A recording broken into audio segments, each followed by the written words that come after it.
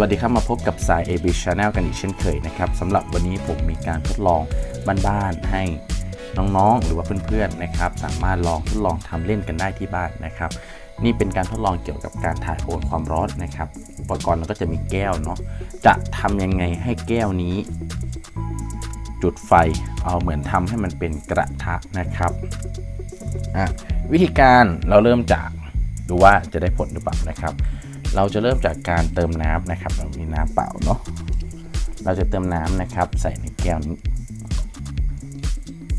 แบบนี้นะครับเติมประมาณนี้ก็ได้ครับปึ๊บเพื่อให้เพิ่มการมองเห็นนะครับ จะได้เห็นชัดเจนมากยิ่งขึ้นเนาะ ผมจะเติมสีเข้าไป ให้เราเห็นน้ำนิดหน่อยนะครับ เติมเป็นสีฟ้าเนาะ อ่า ใส่นิดเดียวครับ ผมใช้เป็นหลอดคนแล้วกัน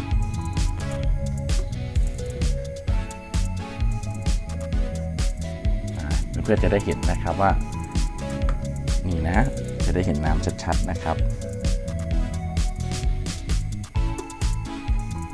ขอเติมนิดหนึ่งแล้วกัน จะได้เห็นชัดตรงนี้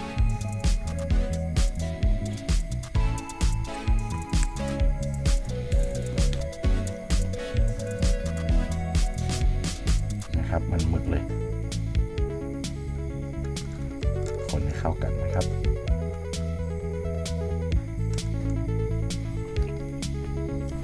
การทดลองนี้ง่าย ๆ เลยครับ ไม่มีอะไรซับซ้อนครับ เราให้จำลองเหมือนแก้วน้ำตัวนี้เป็นเหมือนกระทะนะครับ เพราะฉะนั้นนี่เป็นการทดลองเรื่องการถ่ายโอนความร้อนนะครับ เราก็ต้องมีแหล่งเชื้อเพลิงใช่ไหมครับมีเทียนถ้วยอยู่นะครับ เริ่มแรกผมจะใช้ 1 อันก่อนอวางอย่างนี้นะครับ จุดไฟปึ๊บนะครับทีนี้ให้เพื่อนๆทุกคนสังเกตดูนะครับ แก้วนี้เป็นแก้วพลาสติกเนาะแก้วพลาสติกนี้ เพราะฉะนั้นเวลาโดนไฟนะครับ มันอาจจะไหม้ได้ ซึ่งถ้าผมเติมน้ำใส่แบบนี้ เพื่อนๆคิดว่ามันจะไหม้หรือเปล่าครับ หรือว่ามันไม่ไหม้ลองดูนะลองคิดก่อน ปึ๊บนะครับผมจะย่อใส่ตั้งลงอย่างนี้นะครับปึ๊บปึ๊บ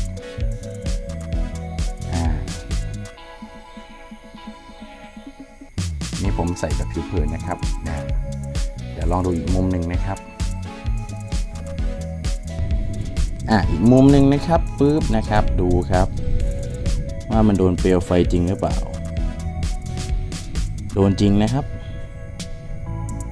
นี่ครับ จะเห็นเลยว่ามีเปลวสีดำๆด้วยนะครับ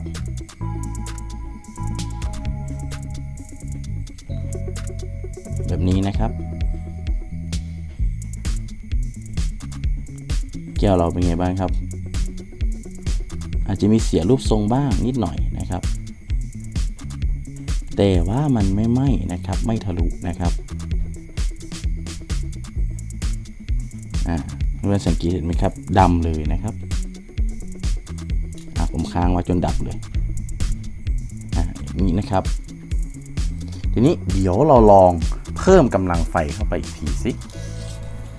ผมใส่เป็นสามมันเลย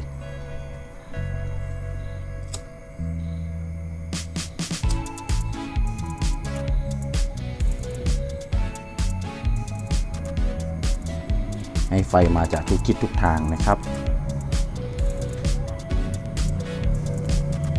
ว่ารอบนี้จะไหม้หรือเปล่านะครับ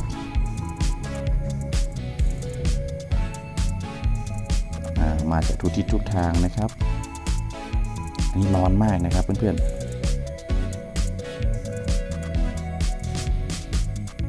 ร้อนมากนะครับ เห็นไหมครับ ผลปรากฏว่า ตั้งไว้ยังไงก็ไม่ทะลุนะครับ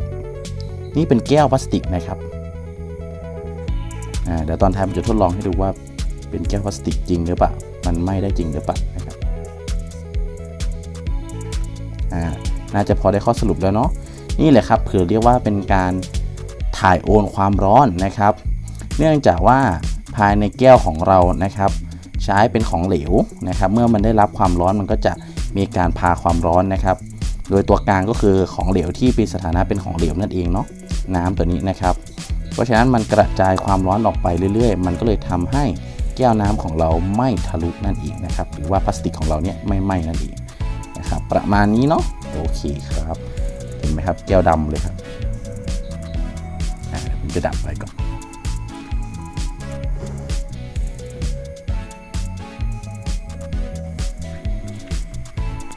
ะนะครับ อย่างนี้นะครับก็คือมันก็กระจายไปทั่วนะครับ อ่า เพราะฉะนั้นผมเอานิ้วลอง แตะดูจะรู้สึกอุ่นๆนะครับ เพราะว่าความร้อนมันถูกกระจายไปทั่วของเหลวข้างในนี้แล้วนะครับ เพื่อทดสอบว่ามันไม่ใช่แก้วจริง ๆ นะครับ ถ้าเป็นแก้วมันต้องไม่ติดไฟเนาะแล้วถ้าเกิดผมเผาตัวนี้นะครับ ลองดูว่ามันจะไหม้ลงมาถึงน้ำไหมนะครับ ลองดูนะครับ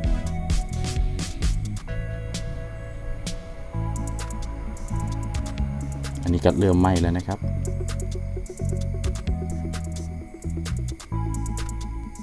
ไฟนะครับ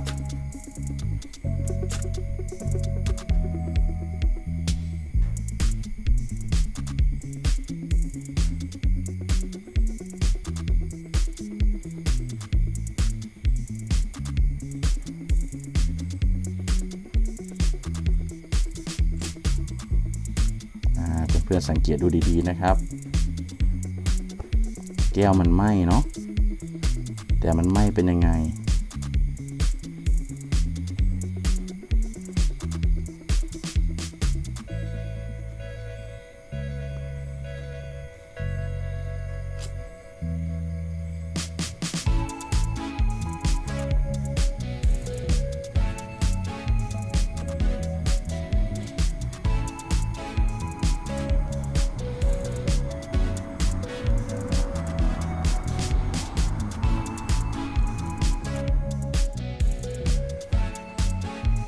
เราก็จะสังเกตเห็นได้ชัดเจนเลยนะครับว่า